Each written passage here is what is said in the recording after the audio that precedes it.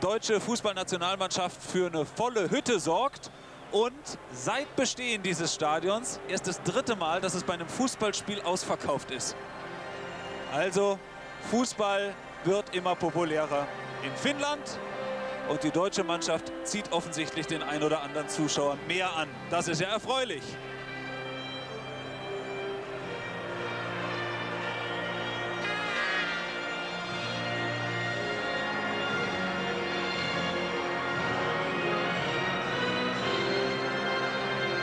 Situation vor diesem WM-Qualifikationsspiel fußballerisch so ein Bundesliga-Finale, das den Namen wirklich verdient hat, liegt hinter uns. Ein Pokalfinale dazu mit echten Emotionen. Bayerns Triumph in der Champions League. Vielleicht erinnern sich einige an das ansehnliche Länderspiel gegen die Slowakei. Irgendwie hat man richtig Lust auf Fußball. Und heute geht es ja dann auch für die Nationalmannschaft endlich wieder um was. WM-Qualifikation also in Finnland. Bislang hat das alles sehr gut geklappt. Deutschland stellt in ganz Europa die einzige verlustpunktfreie Mannschaft. Und das kann gerne so bleiben.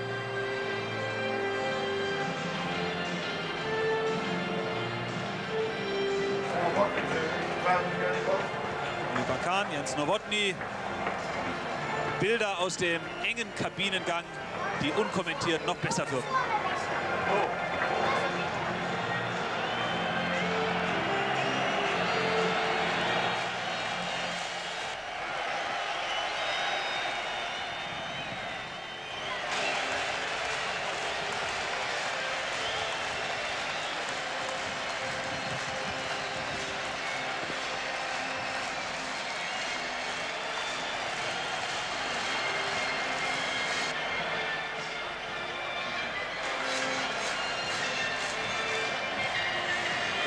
Mitte heißt Dick Johl, ist Niederländer und leitet diese Partie. Leitete auch das Champions League-Finale Bayerns gegen Valencia. Auch Deutschlands unrühmlichen Abschied bei der EM in den Niederlanden. Das 0 zu 3 gegen Portugal. Auch Bayerns schlechtestes Champions League-Spiel 0-3 in Lyon. Er beendet seine Karriere, seine internationale mit diesem Spiel. Er hat die Altersgrenze erreicht.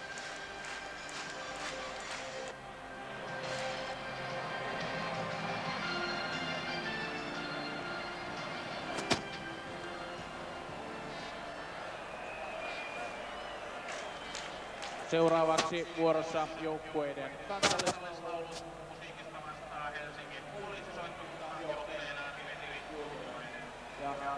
Ja D-katsomossa Suomen kansallislaulun aikana oma osuus. Saksa, Deutschland.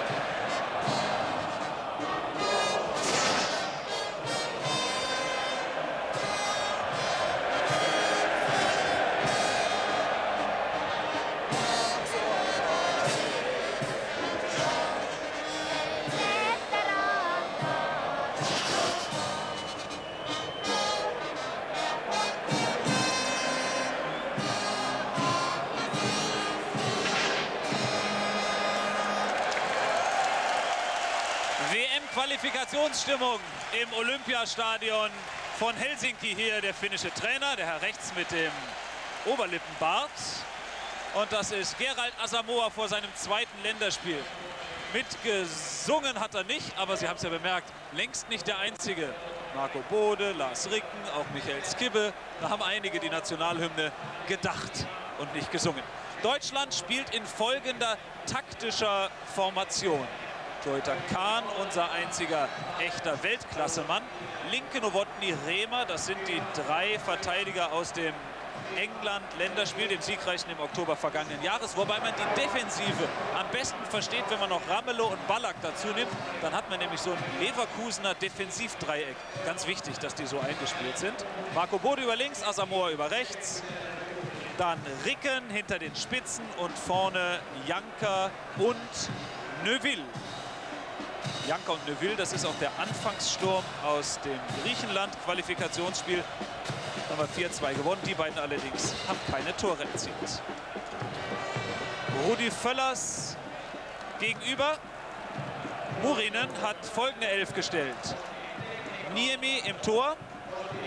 Und ich trage die ja nicht alle vor jetzt, sondern weise hin auf die wirklich wichtigen. Hypia vom FC Liverpool, rustikaler Innenverteidiger, der das mit Tihinen schon seit langem zusammentut in der Nationalmannschaft. Littmanen zentral hinter den Spitzen. Und wir haben das mal sehr offensiv dargestellt und es ist wirklich so gemeint. Nomela über rechts und Kolka über links. Sowas wie die offensiven Außenleute, Forcell, der Mittelstürmer. Also eine sehr offensive Ausrichtung der Finnen, wie auch sonst. Sie müssen gewinnen, um noch eine Rolle zu spielen in dieser WM-Qualifikationsgruppe 9.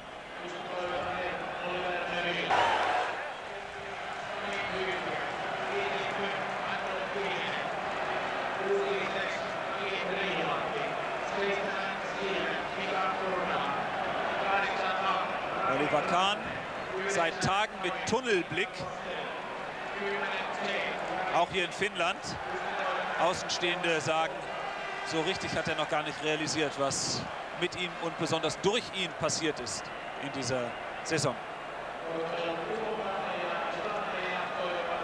Also die deutsche Mannschaft in grünen Trikots beginnt von links nach rechts und zwar jetzt.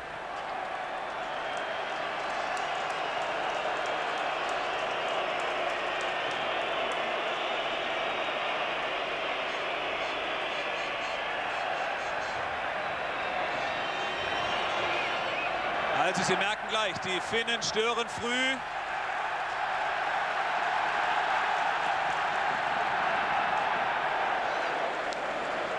Littmanen gegen Ramelow.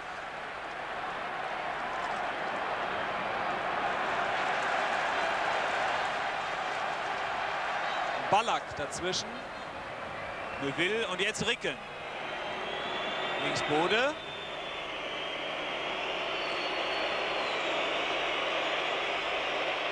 Oliver Neuville.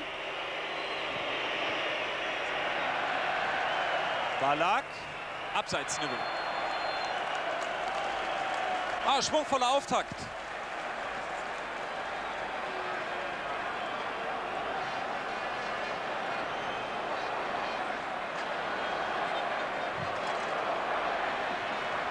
Antiniemi spielt in Schottland bei den Hearts of Midlothian. Ganz erfahrener Mann, in seinem 45. Länderspiel.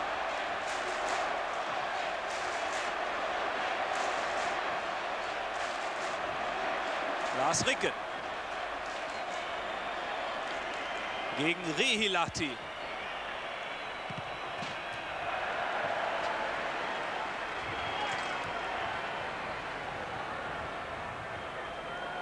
Zum ersten Mal von Anfang an seit dem Neuseeland-Länderspiel beim Konföderationen-Cup, das war 1999, Lars Ricken und endlich hinter den Spitzen. Das wollte er immer.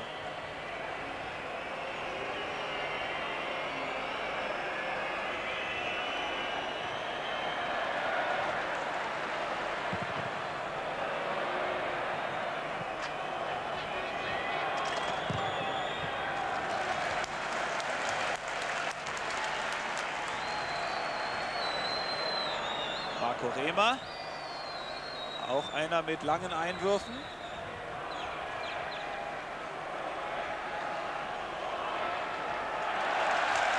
Niemi vor Carsten Janka.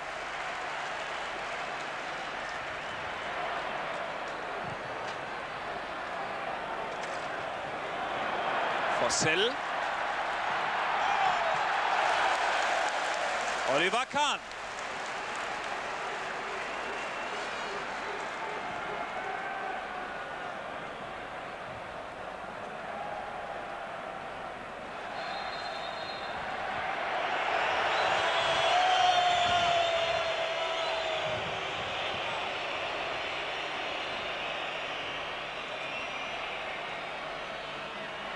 Janka.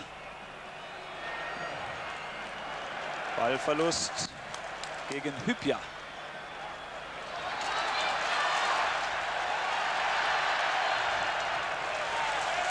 Littmanen.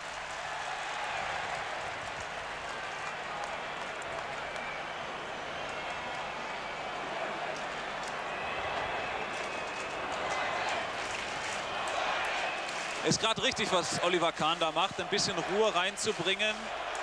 Zu Beginn einer ja, fast turbulent anmutenden Partie.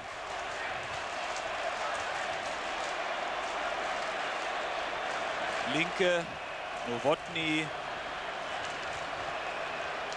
Neuville.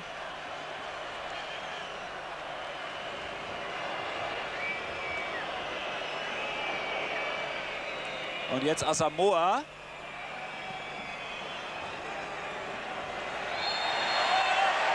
Foulspiel von Ville Nylund. Der Dreier der Finnen. Einer von zwei finnischen Spielern in der Startausstellung, die auch in Finnland ihr Geld verdienen. Alle anderen im Ausland tätig, vornehmlich in den Niederlanden und in England. Freistoß Neuville. Janka, Bode und Asamoah. Riesenmöglichkeit für die deutsche Mannschaft. Gerald Asamoah. Mann, das wäre ja was gewesen. Zweites Länderspiel, zweites Tor, aber es steht 0 zu 0. Pfostenschuss von Asamoah in der Zeitlupe ganz deutlich zu sehen. Aber es zeichnet einen Stürmer aus, dass er überhaupt da ist. Dass er so eine Situation erahnt. Eckball.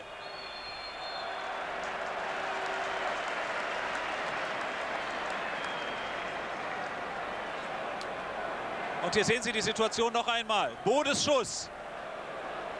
Niemi dran und dann Asamoah. Gegen den Pfosten. Tihinen hatte dann zur Ecke geklärt.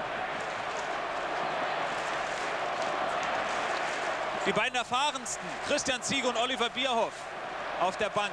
Und Bierhoff, der hat drei Tore mehr geschossen für die Nationalmannschaft als der komplette andere Kader zusammen. Aber es ist halt lange her. Danke.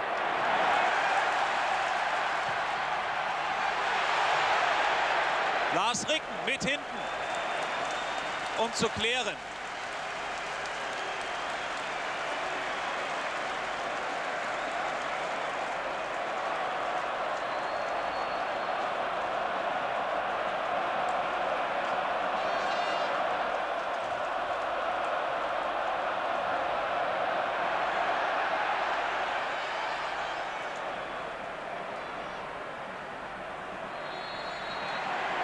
Foul von Rihilati an Asamoah.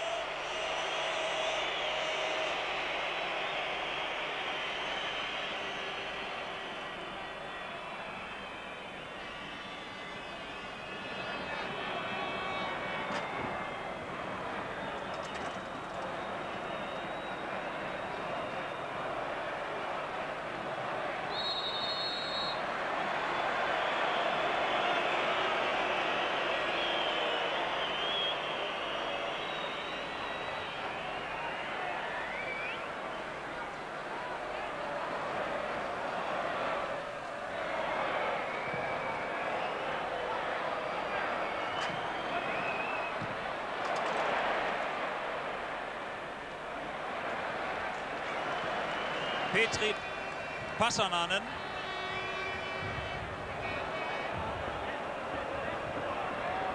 Mit seiner Kerze. Aber er hat es ja dann selbst geklärt.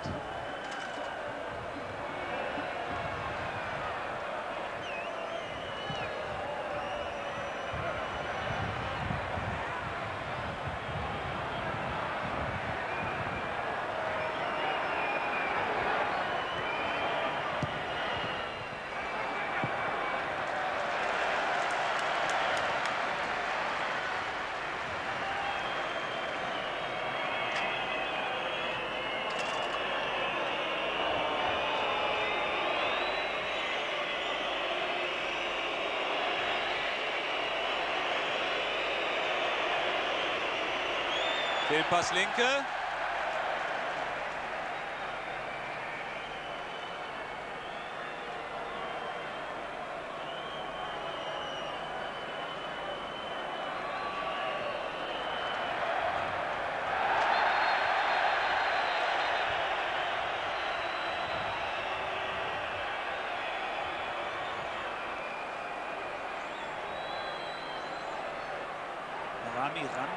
Der Achter. Er und auch der Siebener, der da reingrätscht, das ist Mika Nurmela, zeigen ziemlich viel Aktion über die rechte Seite. Besonders Nurmela, Sie haben das ja verfolgen können, schon ein, zwei Mal ganz gefährlich über rechts durch.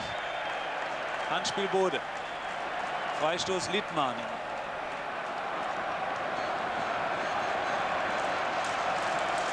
Und gleich gehen die Langen mit nach vorne. Auch Hüppia, der Vierer, der vom FC Liverpool Spieler der Saison von den englischen Fans gewählt.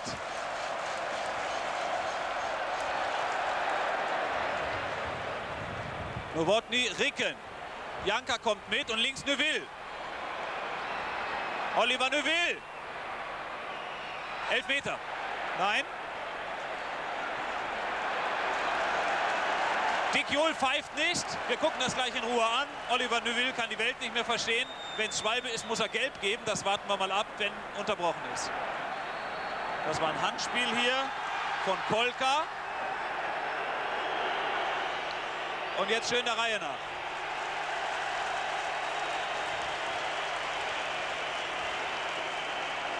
Für mich ein klarer Elfmeter. Eindeutiger geht's nicht.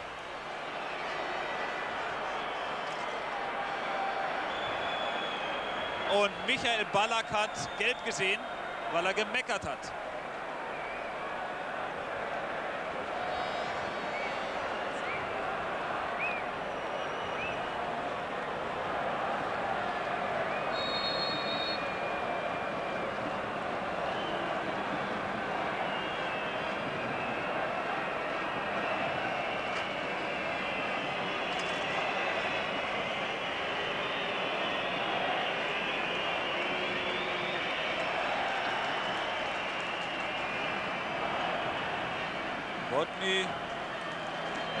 Ruhe reinbringen, linke.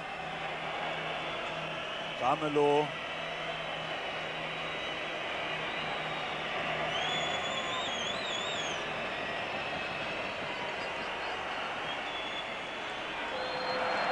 Asamoah im Abseits.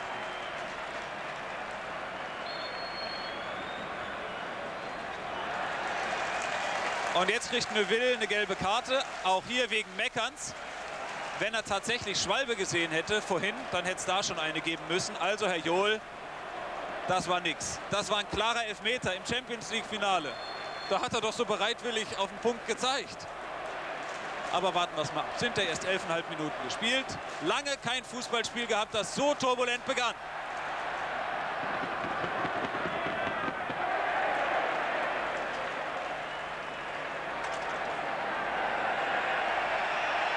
Einwurf Finnland, auch wenn Marco Rehmer das gern anders hätte.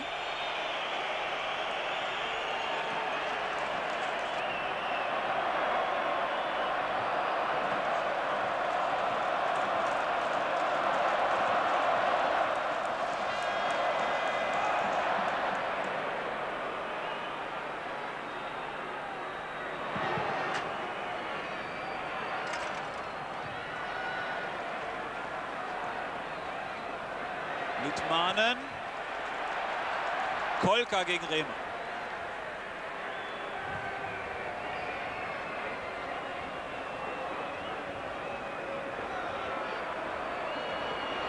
Asamoah setzt sich durch gegen zwei. Rechts Neville.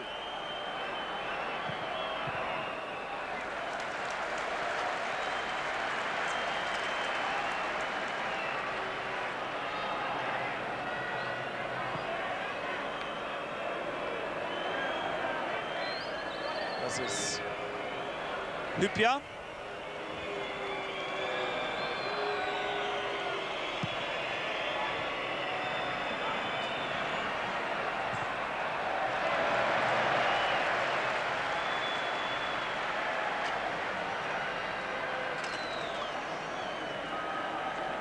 Jari Littmanen, zehnmal Finnlands bester Fußballer.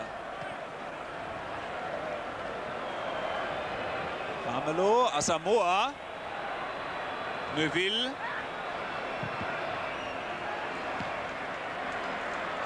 Also Neuville häufig am Ball, kommt allerdings nicht jede Flanke an. Einige sind mir ein bisschen zu flach angesetzt.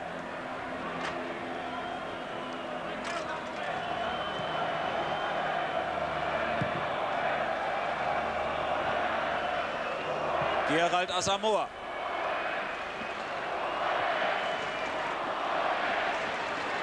Ramelow.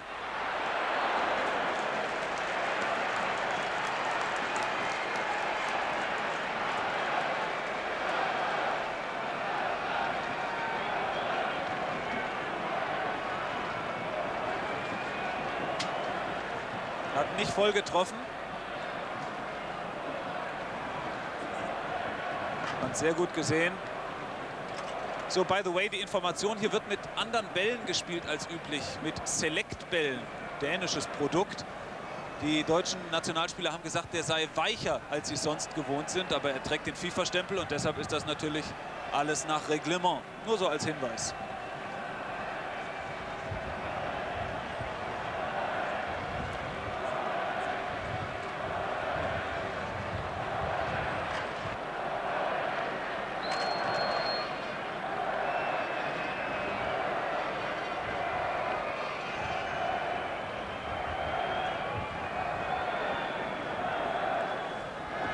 Viertelstunde gespielt im Olympiastadion von Helsinki. Also schwungvoll bezeichnet den Zustand noch nicht ausreichend. Beide Mannschaften willens und zu weiten Teilen auch in der Lage, nach vorne zu spielen. Und das macht natürlich richtig Spaß, zuzuschauen. Asamoas Pfostenschuss haben wir als herausragende Situation notiert, genauso wie den nicht gegebenen Elfmeter nach dem Foul an Oliver Neuville.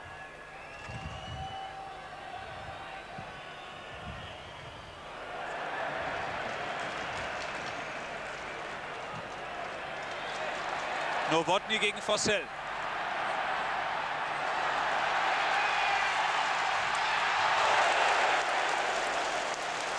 Schon unglaublich, was der macht. 20 Jahre ist der Jung. Aber es kommt ihm die Erfahrung aus den englischen Ligen zugute. Bei Chelsea unter Vertrag, war lange ausgeliehen in die zweite Liga zu Crystal Palace. Aber es ist wohl das größte Sturmtalent, was die Finnen haben. Und wer so jungen Jahren in einem so wichtigen Spiel so abgezockt agiert, von dem ist noch was zu erwarten.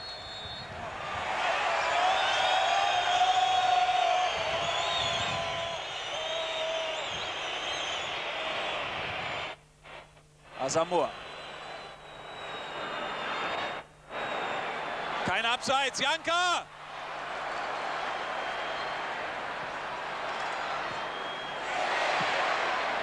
Nochmal Gerald Asamoah.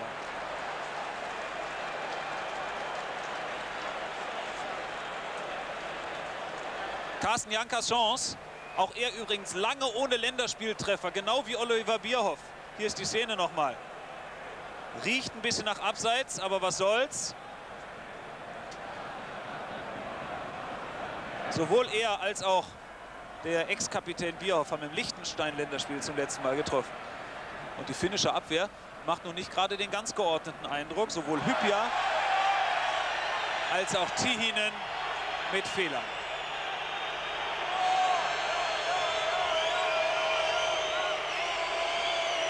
Rihilati unzufrieden mit den Pfiffen von Dick Johl.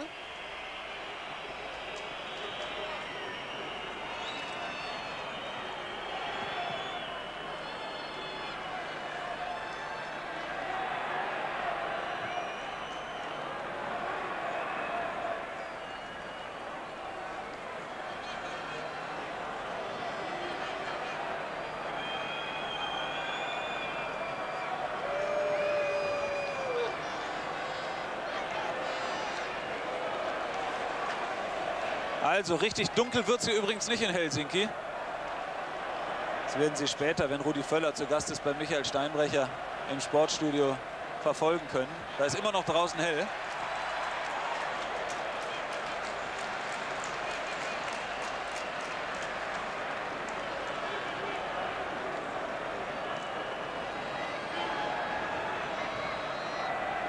Die Rückpässe halte ich übrigens für eine gefährliche Geschichte bei dem Untergrund hier. Der Rasen ist alles andere als gut. Zwar kurz gemäht, heute Vormittag nochmal, aber ein ziemlicher Holperacker. Also unter Druck kann das auch daneben gehen.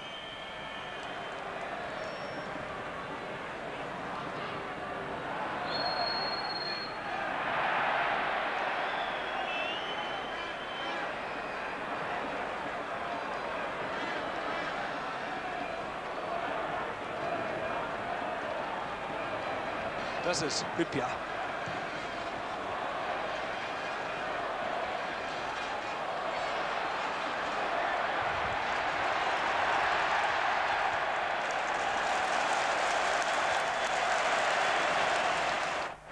Thomas Linke verursacht den Eckball unter Druck von Michael Fossell.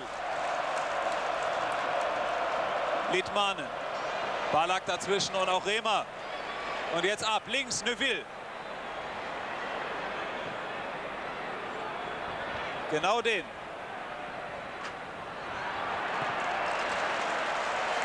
Neuville zeigt sich häufig, bietet sich an, und zwar auf beiden Seiten, links wie rechts. Aber ist noch nicht der Glücklichste, wenn es dann darum geht, die Aktion zum Ende zu bringen.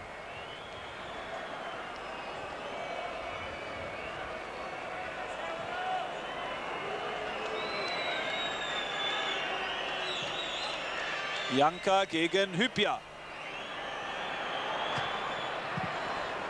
Sich gut durchgesetzt, der Bayern-Spieler.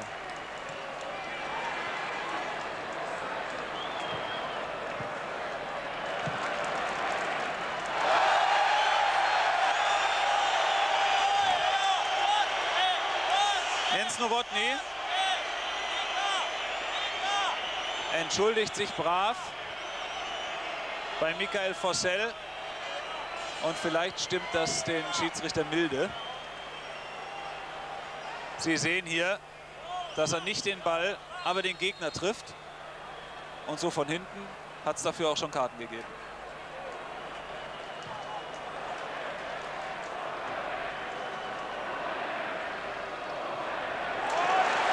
Kolka. Rehmer klärt.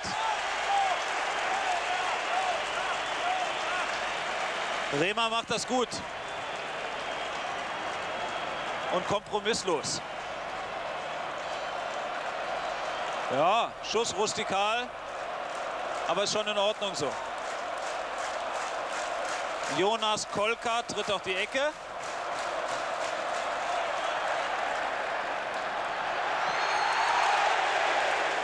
Rihilahti mit einer Riesenchance. Wie kann der da so frei zum Schuss kommen? Ist ja eine Frage, die erlaubt sein muss. Wenn die Mittelfeldspieler bis in den gegnerischen Strafraum gehen, dann kann es nicht allein an Linke und an Rehmer liegen.